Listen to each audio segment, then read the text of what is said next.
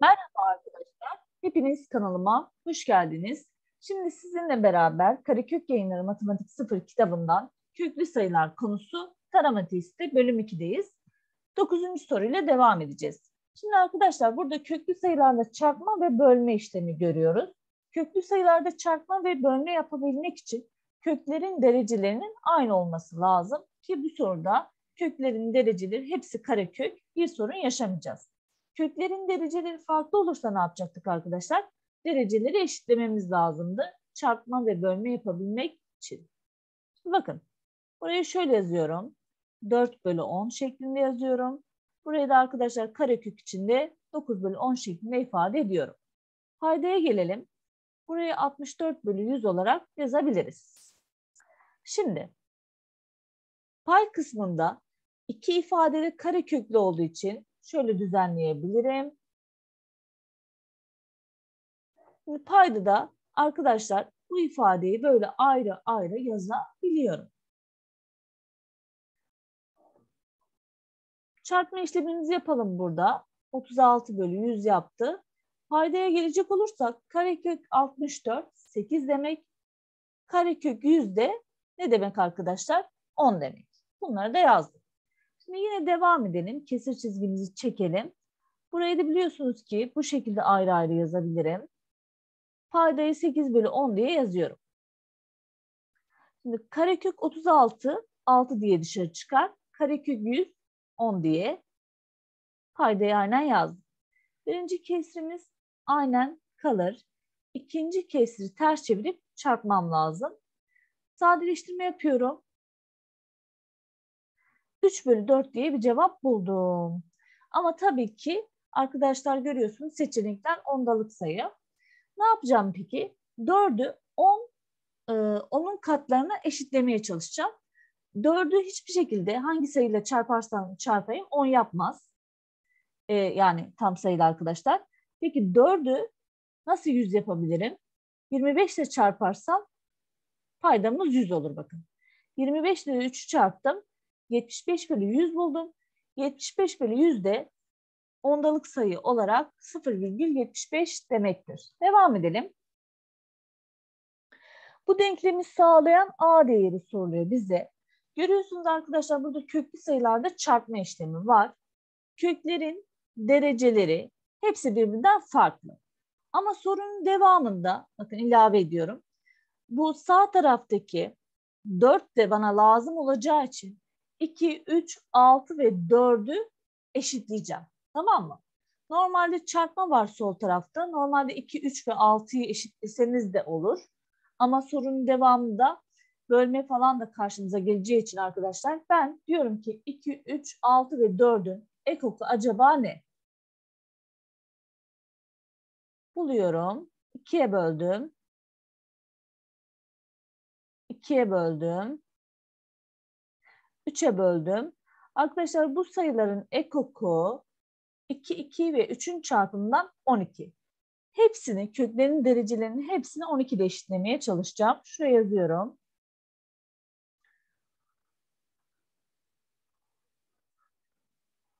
Bakın. Evet. Şimdi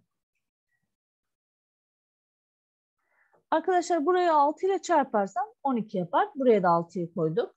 Burayı 4 ile çarparsam 12 yapar. Buraya da 4'ü koyduk. Burayı 2, 2 ile çarptım 12 yaptı. Buraya da 2 koydum. Burayı 3 ile çarptım 12 yaptı arkadaşlar. Buraya da 3'ü koydum. Şimdi köklerin derecelerinin hepsi aynı. O zaman arkadaşlar şöyle yapabilirim. Aynı kök içinde yazabiliyorum. 2 üzeri 6 çarpı a üzeri 4 çarpı arkadaşlar 4 yerine 2'nin karesi yazabilirim. 4'ün üstünde bir de kare işareti var. Karşı tarafı da 12. dereceden kök. 16 yerine ne yazabilirim? 2 üzeri 4. Üstünde de ne var arkadaşlar? 3 var. Düzenlemeye devam edelim. Bakın. 2 üzeri 6 çarpı a üzeri 4 çarpı 2 üzeri üstün üstü biliyorsunuz arkadaşlar çarpılır. Diğer tarafı da düzenleyelim. Burası da 2 üzeri ne yaptı? 12 olarak karşımıza çıkıyor. arkadaşlar. Şimdi şöyle yapabiliriz. Ben bu ifadeleri arkadaşlar kökten kurtarmak istiyorum. Her iki tarafın 12. kuvvetini alırsam neden 12. kuvvetini alıyorum? Çünkü arkadaşlar burada 12 yazdığı için hani 6 yazsa 6. kuvvetini alırdım. Buradaki 12 ile 12. dereceden kök işareti gider. Aynı şekilde burası için de geçerli. Artık hiç köklü bir ifade kalmadı. Sol tarafta bakın sayıları çarpmam lazım. Üslü ifadelerde şu iki ifade dikkatimi çekiyor. Tabanları aynı olduğu için üstleri toplayacağım. 6 ile şuradaki 4'ü topluyorum. 2 üzeri 10 yaptım. Çarpı a üzeri 4 eşittir. Karşı tarafta da 2 üzeri ne kaldı arkadaşlar? 12 kaldı. Şimdi ben her iki tarafı 2 üzeri 10'a böleceğim. Ki a üzeri 4 yalnız kalsın.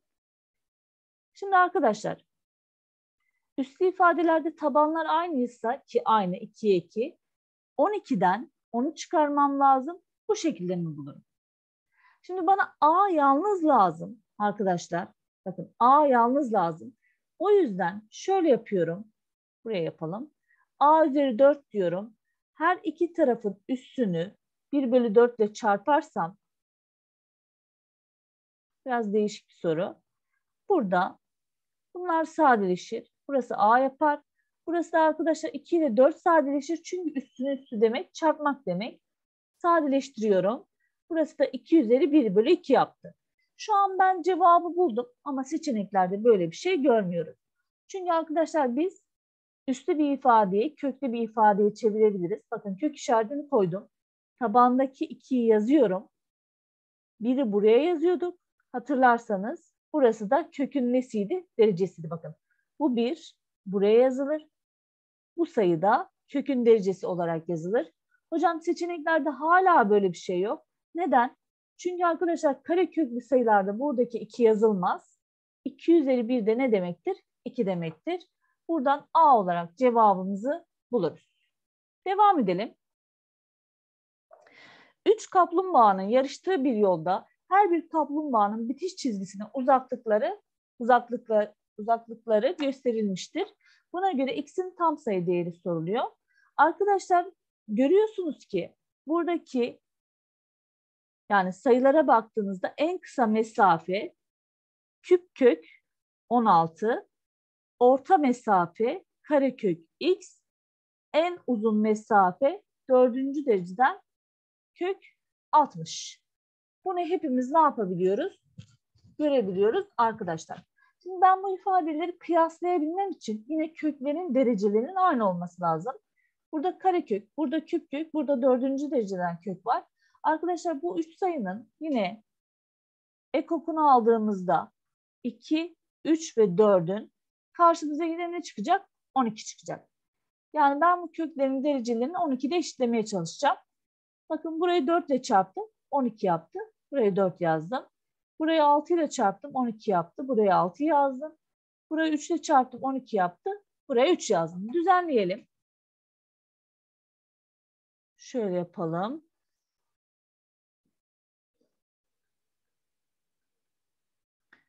Düzenleyelim.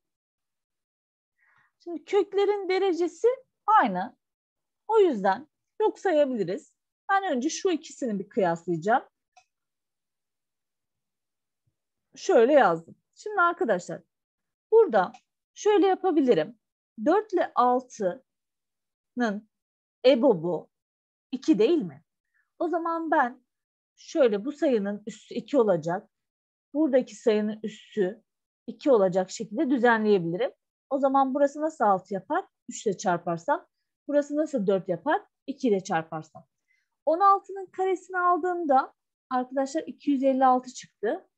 256 x küp sayısından daha küçük olmalı. Tamam mı? Buradan bir, bu bilgiye ulaştım. Diğer türlü devam edelim. Şuraya. Buradan da x üzeri 6 küçük olmalı. 60'ın kübü yazdım. Arkadaşlar burada 6 var, burada küp var. O zaman ben bunu yine 6 ile e, yani küp derken 6 ile 3'ün ebobunu bulurken ebobu 3 yapacak. Hem 6'nın içinde 3 var hem 3'ün kendisi zaten 3. Burayı 3'e göre düzenlemem lazım o zaman. Bakın burayı 2 ile çarparsam 6 yapar. Burası zaten küp şeklinde. O zaman ne diyorum? Tabanlara bakın. x kare küçük olmalı. 60. Şimdi bu iki bilgiden yola çıkarak x hakkında yorum yapacağım. x'in tam sayı değeri soruluyor. Arkadaşlar x 5 olsa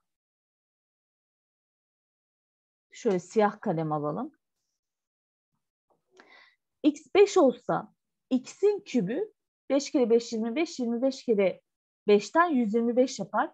E, 256 125'ten küçük mü? Değil. 5 olamaz. X 6 olsa arkadaşlar hani bu tarafta denemedim. Zaten bir tarafta olmadığı için bu eşitsizliğe baktığımızda X 6 olsa arkadaşlar 6 kere 6 36 36 kere 6 ne yapıyor? Bir bakalım bir dakika.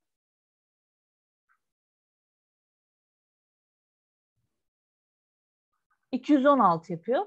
256 216'dan küçük mü? Şurada. Değil. X 6 da olamaz. Eledim. Şunları bir sileyim. Peki arkadaşlar X 8 olsa. Şimdi küp kısmında denemek biraz zahmetli. Kare kısmına bakıyorum. 8'in karesini 64 değil mi? 64 60'tan küçük mü? Değil. Olamaz o yüzden. 9'un karesine bakalım. 81 60'tan küçük mü? Bu da değil. Arkadaşlar ikisini birlikte sağlayacak sayı burada 7. İsterseniz deneyelim. Bakın e, 7'nin arkadaşlar karesi 49. Kübüne bakıyorum.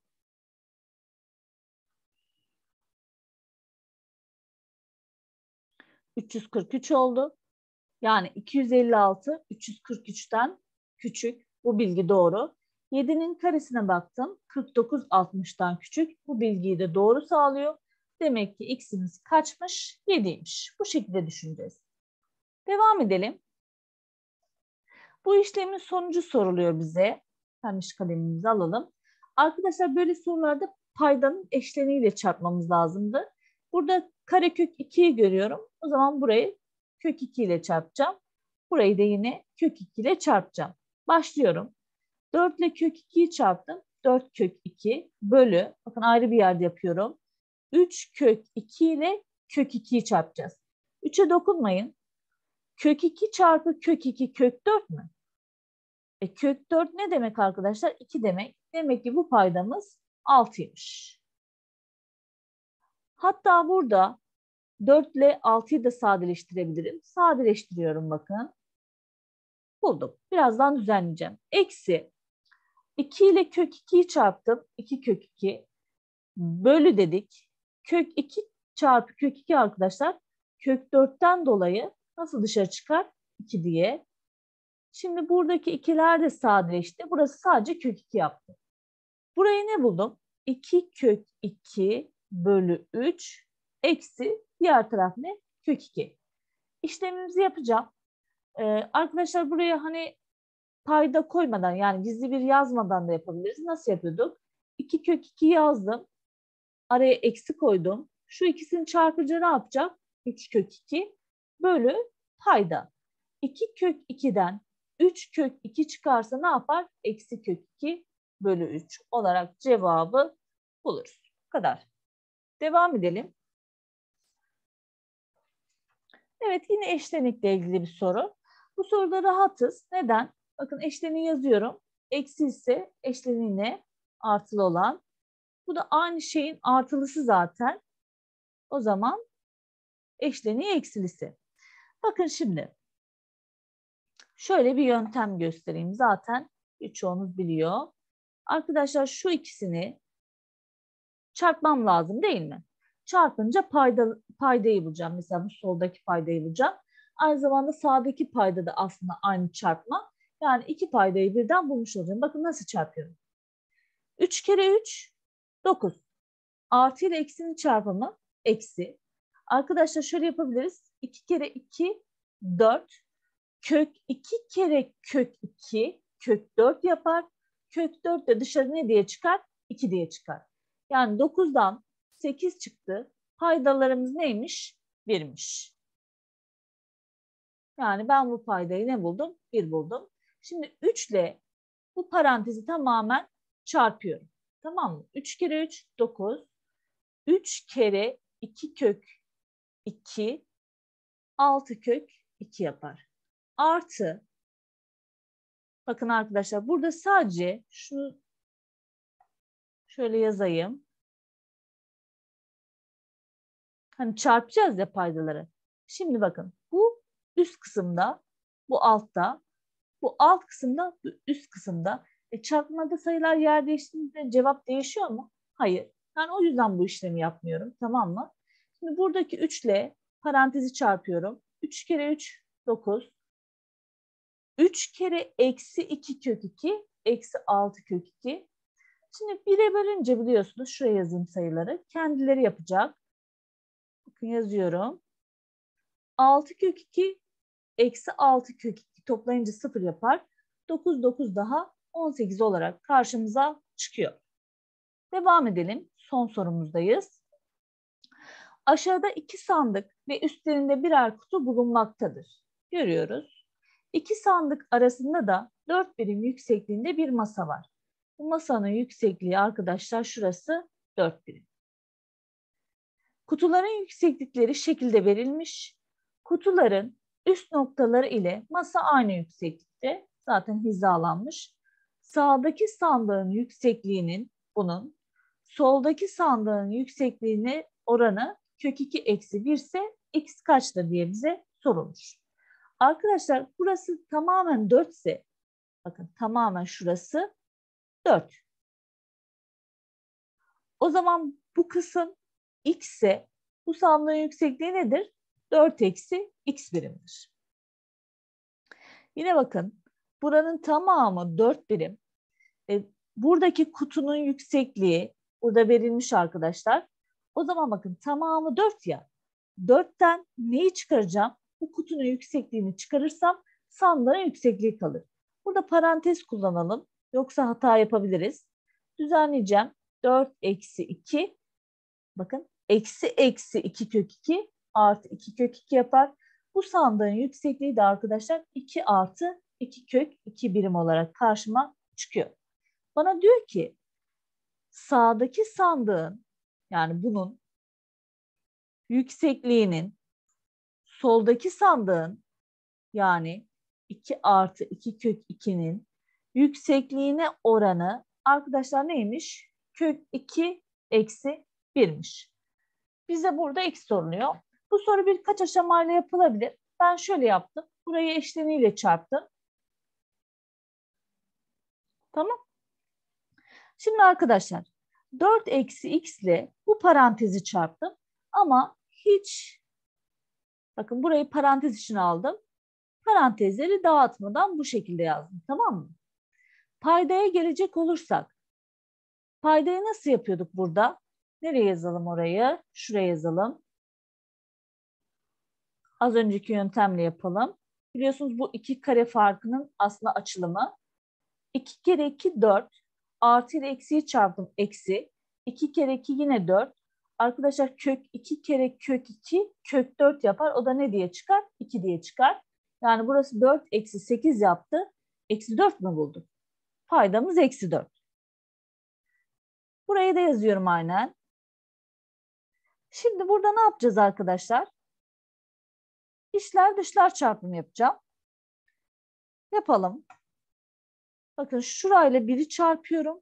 4 eksi x çarpı 2 eksi 2 kök 2 eşittir.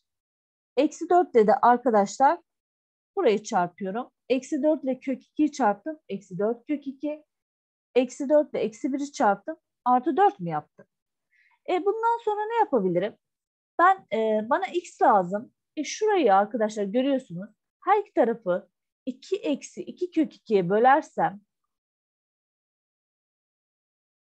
bakın 4 eksi x'in cevabını bulun. Burası gitti gördüğünüz gibi. Şimdi şuraya baktığımda arkadaşlar ben burayı eksi 4 kök 2'ye ve 4'e baktığımda Eksi 4 parantezine alabileceğimi gördüm. Eksi 4 parantezine alalım. E o zaman eksi 4 kök 2'yi eksi 4'e bölersek ne yapar? Kök 2. 4'ü eksi 4'e bölersek ne yapar? Eksi 1. Bölü. Şuraya baktım arkadaşlar. E ben burayı diyorum eksi 2 parantezine alabilirim. Alalım. Önce şu taraftan başlayacağım. Fark etmez bizim için. Eksi 2 kök 2'yi eksi 2'ye bölersem kök 2 yapar. 2'yi eksi 2'ye bölersem eksi 1 yapar. Görüyor musunuz? Bunlar aynı. Sadeleşti. Şöyle yazıyorum o zaman. 4 eksi x eşittir. Arkadaşlar eksi 4'ü eksi 2'ye böldüğümüzde ne yapacak? 2 yapacak. E, 4'ten kaçı çıkarırsam 2 yapar? Tabii ki 2. Dediğim gibi birkaç yol olabilir. Yani ben bu şekilde çözdüm arkadaşlar. Baştan siz şurada da içler dışlar çarpımı yapabilirdiniz. Ben eşleniyle çarptım. Sonra işlemlerimi yaptım. Evet arkadaşlar beni buraya kadar dinlediğiniz için hepinize çok teşekkür ederim. Kanalıma abone olup bana destek olursanız çok mutlu olurum. Videoma yorum yaparsanız sevinirim. Herkese iyi çalışmalar diliyorum. Hoşçakalın.